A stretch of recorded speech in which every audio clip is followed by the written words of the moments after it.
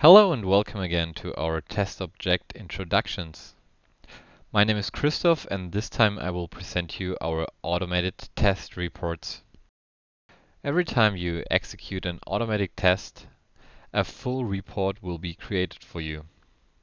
To access this report as well as to execute new test runs, navigate to the automated testing section on your app dashboard and choose your respective framework. For our example, I selected a Robotium test, but the results look very similar for Espresso and Appium too. What you see here is a list of our uploaded test suits. Every suit consists of a single Robotium test APK, which can include several tests. From here we can directly start another test run, or what we will do now, have a look at all the reports for each test suit. With a click on this icon, we can access the reports. We can see that the test suit was executed four times so far. We will have a closer look at the latest report, which I started about two hours ago. When we open the report, we first get a general overview. So here we see the number of tests, devices, errors, and also some basic information on our app. If we scroll down, we can see the devices we had selected for our tests.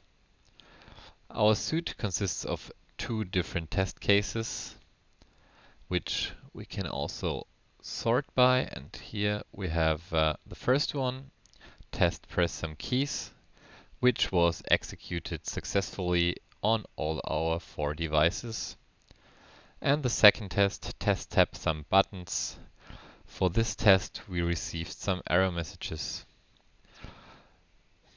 To see the execution report for each of our eight tests, we can navigate down one more level. To do so, we select the desired test case and device. In our case, I chose the Moto G and I want to get all information available on the test tap some buttons test. This execution report consists of several tabs giving us information on the device, app and the execution, a detailed description of the exception thrown, screenshots for every step in the test execution, a video of the whole test.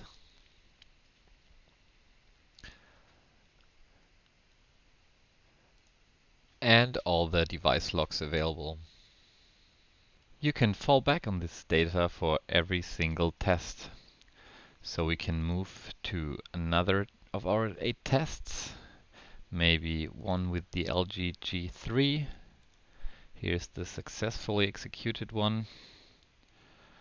It comprises the same information, also the screenshots, the video of the test.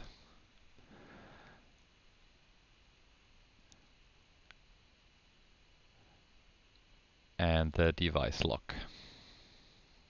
When we return to the overview page of the report, we can also see that we have different options to download or share our data. To share, you can click on that button, create a unique link which you can share with anybody so he will be able to access your report. You can also download the complete report including all the data like videos and screenshots as a zip file.